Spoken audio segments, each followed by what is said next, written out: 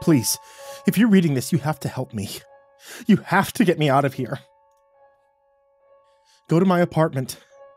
You'll find me in my apartment. I'm inside. I'm trapped in this fucking headset with these haptic sensors all over my body. There's no way of getting out. It feels like they put super glue on the inside of my gloves and the boots. Maybe there's some far more high tech mechanism at play here, but either way, I'm a prisoner inside of this VR rig. How did I get here? It all started when I woke up and I noticed something strange on my phone. It was a PayPal notification which read Metaverse Inc. USD $33.52. My brain was still a bit foggy from sleep. I tried to remember what I could have charged to my PayPal account for that amount. I only had a few direct withdrawals set up to PayPal since most of them went to my credit card.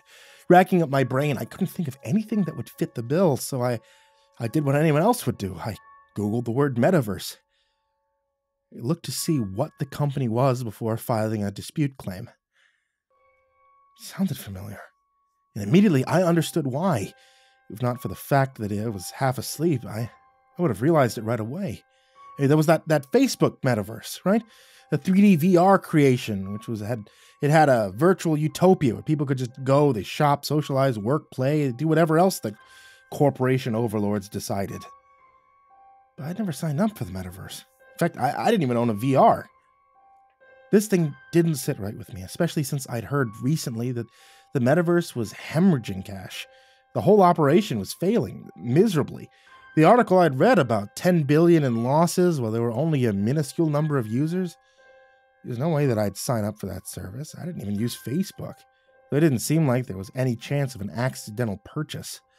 My vivid imagination pictured a nefarious plan at Facebook to use my Pixel phone's Google Play to order the service without my knowledge. I requested a refund through PayPal, saying I'd never received the service or product, since there was no option, for I didn't order this shit. Then I went to Twitter to begin to make my aggravation known to the world. I have a couple thousand followers, nothing too outrageous, and most of my tweets get one or two likes, but when I told everyone about this, they totally lost their minds. People I'd never spoke to before started retweeting, liking, commenting immediately. So, this is how they're making back all their lost money using Google Pay data to subscribe to their shitty service, one that no one wants? Ha, said one reply. LOL. I hope you get refunded. That's pretty sneaky way to get people to pay for the metaverse. I heard they weren't doing well, but this is ridiculous, another person commented. The tweet was getting far more traction than my usual ones, but then it was suddenly removed. I received no reason from Twitter, and when I tried to repost it again, nothing happened. Every time I hit send, it seemed like it went through, but when I went to check the tweet, it had vanished again. Annoyed, I was about to post my experience on Instagram or Reddit when I received an email from Metaverse Inc. customer service. Subject Incidental Charge. I opened the email and was surprised to find that it was a customer service manager at Metaverse Reading the content of the email, I began to feel a strange knot growing in my belly. It felt like like someone was pouring cement down my gullet and it was hardening and drying in my gut, getting heavier and heavier by the second. Dear Mr. Group, the email read, We at Metaverse were displeased to hear that you noticed the recent charge you incurred in our behalf. Rest assured that we are looking into the matter and will provide you with a prompt refund. As a token of our apology, please allow us to offer you an additional gift. We noticed in your tweet that you said you didn't even own a VR. Well, we would like to remedy that situation. VR is a very fun and even therapeutic recreational experience. It is enjoyed by many people, as is the metaverse, despite your assertion that it is a wallet fucking cartoon world built on lies for enjoyment of idiots. As such, we would like to afford you with the opportunity to experience it. The metaverse should be enjoyed by all, and one day it will be. For you, we would like to provide a free HTC headset with haptic bodysuit for your use. Of course, it will be your decision should you wish to participate in the metaverse, but we hope that you will give it a shot. Thank you sincerely for bringing the situation to our attention. Sincerely, the Metaverse team.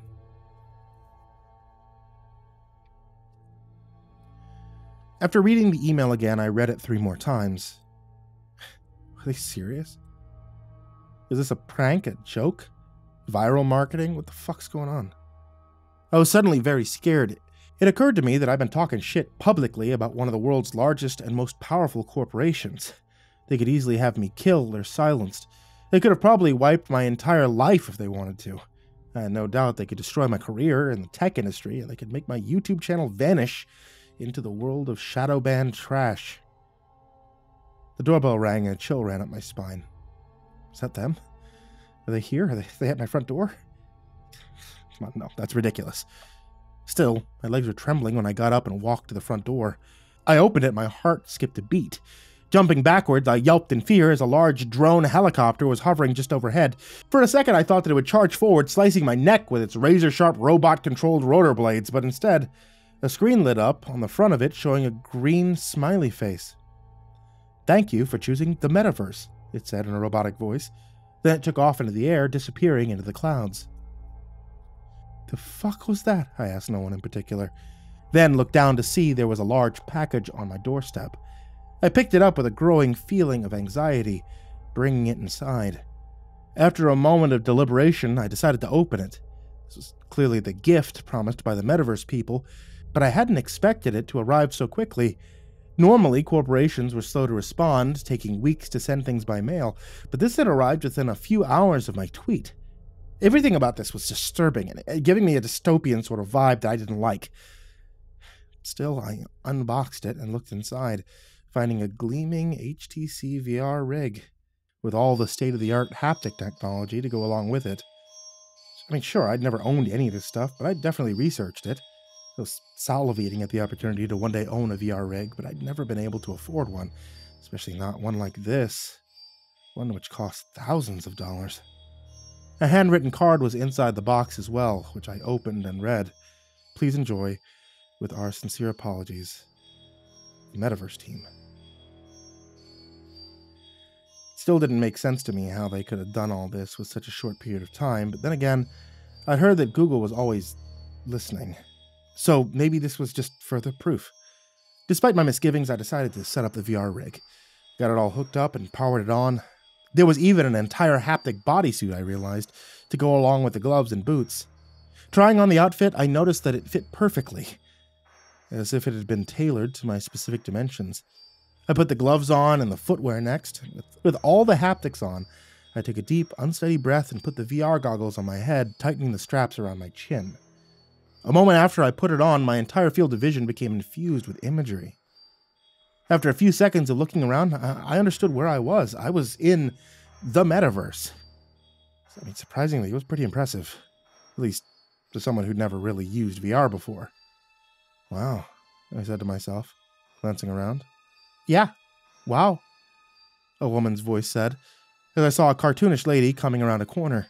She had raven black hair and a scowl etched on her face. Do you have any idea how much effort it takes to create a place like this? She said, approaching me quickly. And you go on Twitter and you shit all over it. A second later, she was practically on top of me, and then she threw a punch hard at my gut. The impact of my midsection caught me completely off guard. It reminded me of being back in elementary school when a bully would beat the shit out of me during recess and knock the wind out of me. This was this was just like that, except a hundred times worse. I was still recovering my breath and on the ground on my hands and knees with no memory of how I got there when she kicked me in the ribs. The blow was so powerful through the haptic bodysuit that it sent me flying, tumbling sideways in a barrel roll. My real body crashed into my entertainment unit, smashing my television and shattering broken glass everywhere. It dug into my flesh, and I felt blood filling the suit in places. Do you have any idea how hard we worked, only to find our efforts mocked? The next kick was to the back of my knee, and I heard it break in a bone shattering pop. I screamed so loud that the neighbors must have heard me, unless all of their Google Home devices malfunctioned at the same instant, playing a brief blast of loud music and drowning out my screams. The idea occurred to me after the woman left me half conscious in a pool of my own blood, spitting out teeth and crying in pain. I hope you enjoy this place we made for ungrateful people like you, was the last thing the woman said as her avatar vanished.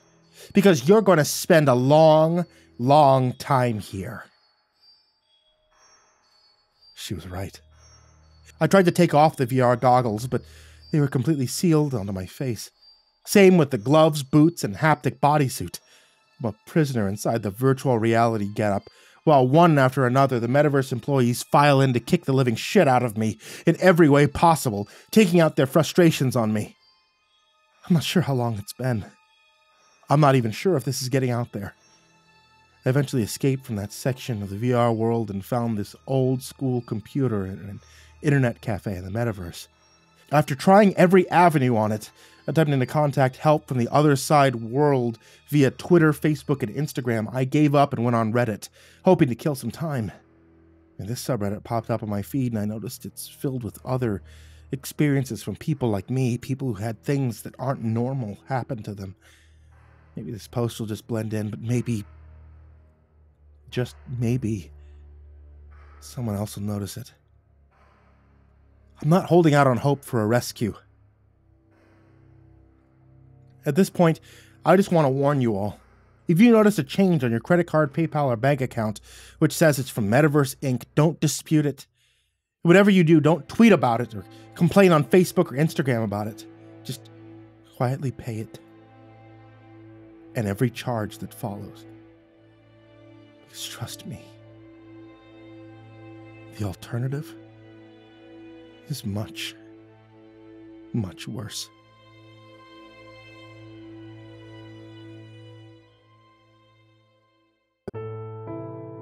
Hey there kids, it's me, Mr. Creepypasta, and I wanted to tell you thank you so much for watching tonight's video or listening to tonight's episode of the podcast. And if you're not listening to tonight's episode of the podcast, then you can on Spotify or other places that people listen to podcasts because I only use Spotify. And if you're not watching tonight's video, then you can on YouTube and nowhere else because that's the only place I upload videos. And if you've done both of those things, then I want to say thank you for subscribing and clicking that like button and leaving a comment that's nice and friendly that I can respond to and give a little heart to.